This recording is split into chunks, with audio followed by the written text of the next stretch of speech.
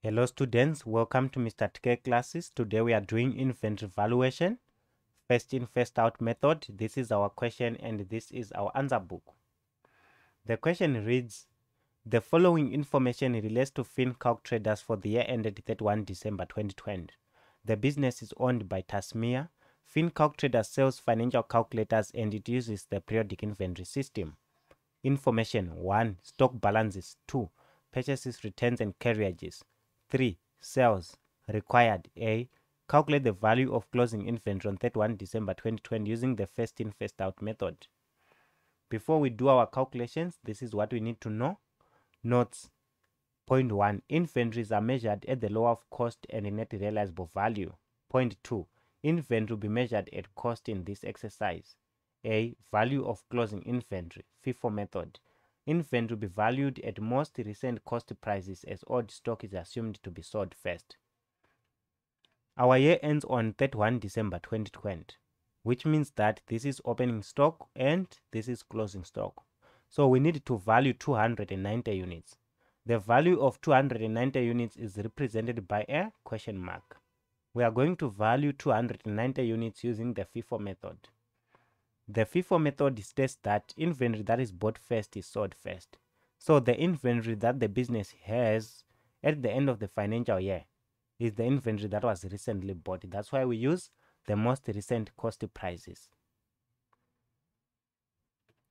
Alright, so we can see that we had opening inventory. We bought in March, July, September and November.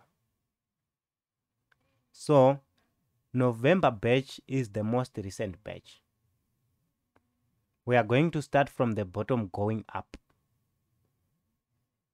We are going to value 190 units using the November batch cost price. 190 multiplied by the November batch cost price. We are going to ignore the November batch cost price because we have the total cost of 190 units here right? So we are just going to take this amount 177,460 how many units do we still need to value? How many units do we still need to value? 290 subtract 190 100 units. We still need to value 100 units. We move on to september. In september how many units were bought 90 subtract 20 right? Subtract 20 because you can see we have returns here. So we subtract the returns. 70 units were bought. So we cannot value 100 units using the september batch cost price whereas in september only 70 units were bought. So we are going to value 70 units using the september batch cost price right? Let's calculate the cost price. 820 plus 36. 856. Don't forget to include carriage because what we need to calculate at the end is total cost. Total cost includes carriage, right? Can 856. 856 multiplied by 70. 59,920. Alright, how many units do we still need to value? Thirty units. We move on to July. In July, 80 units were bought which means that we can value all the 30 units using the July batch cost price. Right? Let's calculate the July batch cost price. 862 right 862 862 multiplied by 30 25,860. All right. How many units do we still need to value? 290, subtract 190, subtract 70, subtract 30. 0 which means that we have valued all the 290 units now we need to add 177,460 plus 59,920 plus 25,860 263,240 this is the value of closing inventory we move on to B. Calculate the cost of sales for the year ended 31 December 2020. Right?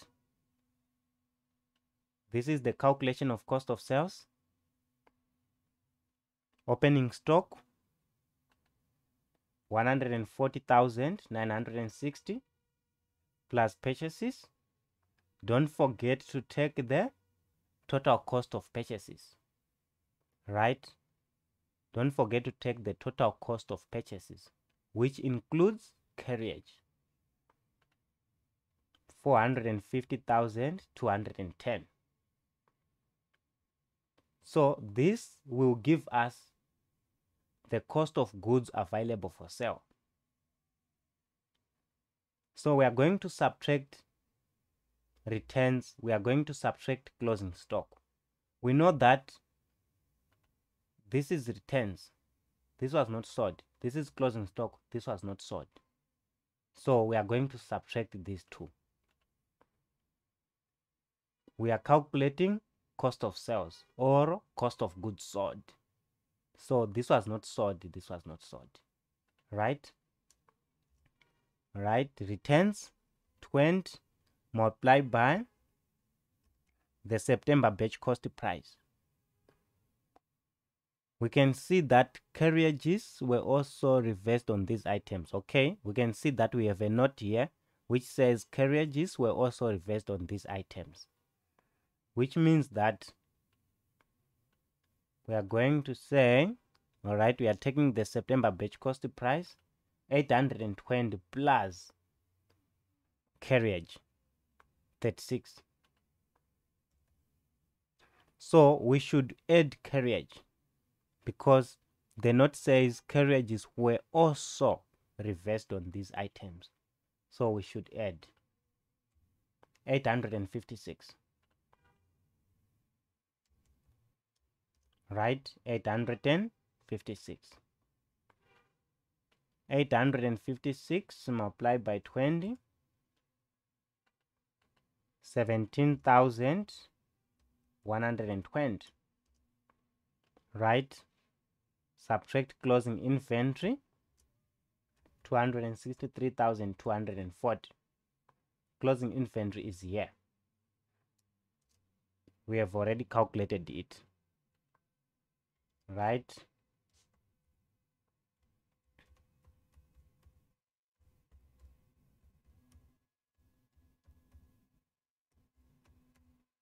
this is our cost of sales 310,810. Let us move on to see.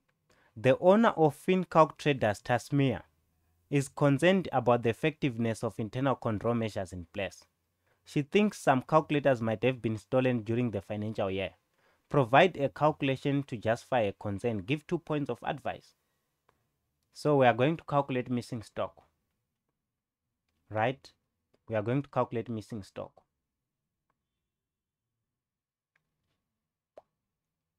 we are going to focus on units, right? At the beginning, we had 107 financial calculators. We bought 510, right? We returned 20. We sold 320 we sold 320 so the idea is you add all the inventory that was coming into the business you subtract all the inventory that was going out of the business then the answer is closing stock as per calculation right the answer is closing stock as per calculation 340. 340. So we compare closing stock as per calculation with closing stock as per physical count, which is 290. The difference is missing stock.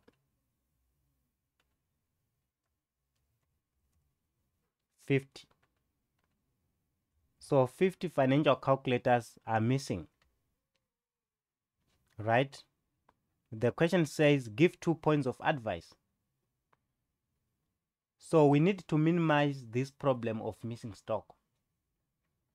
So what would be the advice? Point one, improvement of physical security. So improvement of physical security is needed to minimize the problem of missing stock. Point two, counting of stock regularly. So this will minimize the problem of missing stock. Thank you.